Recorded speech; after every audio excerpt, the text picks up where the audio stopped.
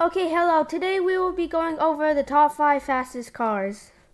So in this list, we are also including the top cars in the near future. So with all of this said, let's walk into it.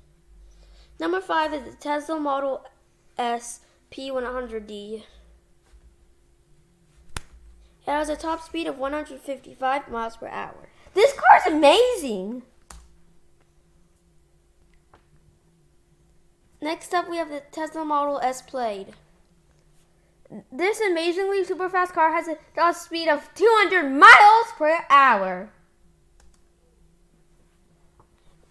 And the next is Lamborghini Ad- Aventador. Top speed is 220 miles per hour, and we would have ranked Bugatti Chiron, but we didn't have space. This is an honorable mention. It doesn't go to 0 to 60 in a good speed.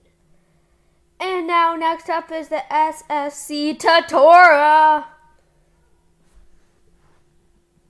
Best car and the fastest car right now. It has a top speed of 283 miles per hour.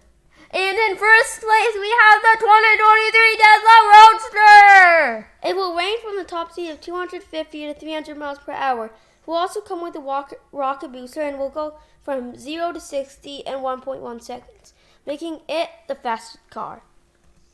Be sure to like and subscribe to see more cool car ranking videos and also more kinds of car videos that might catch your interest. And we will see you in the next video.